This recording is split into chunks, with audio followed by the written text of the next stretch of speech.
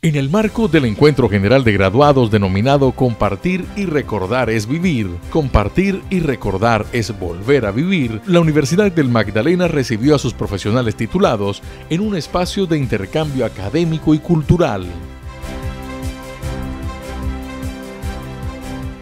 El evento se realizó en el jardín del edificio docente Ricardo Villalobos Rico del campus principal. La programación de esta actividad contó con la entrega de reconocimientos, premiación del torneo deportivo Antorcha Unimagdalena, show musical y humorístico en vivo. Pues recordar las raíces es una manera de, no olvidar, ¿cierto?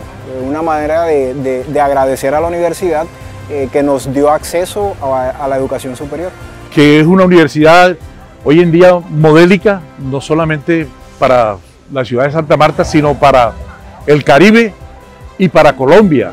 También es importante para uno conservar el sentido de pertenencia por la universidad, volver, reencontrarse. La gala de reconocimientos fue una emotiva ceremonia en la que la institución exaltó con la medalla al mérito y la excelencia a 14 graduados de diferentes programas académicos, que por el desarrollo de su labor profesional han impactado positivamente en el territorio, dejando en alto el nombre de la universidad.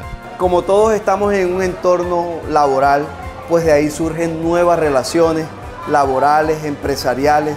Nosotros estamos prestos a atenderlos, a darles toda la información, a abrirles las puertas de la universidad porque esta es su casa y siempre va a seguir siendo su casa. Durante el evento se realizó la premiación del torneo Antorcha Unimagdalena, competencia organizada por el Centro de Egresados y la Dirección de Bienestar Universitario de esta alma mater, que acogió a más de 500 graduados en las disciplinas de fútbol femenino y masculino. Universidad del Magdalena, aún más incluyente e innovadora.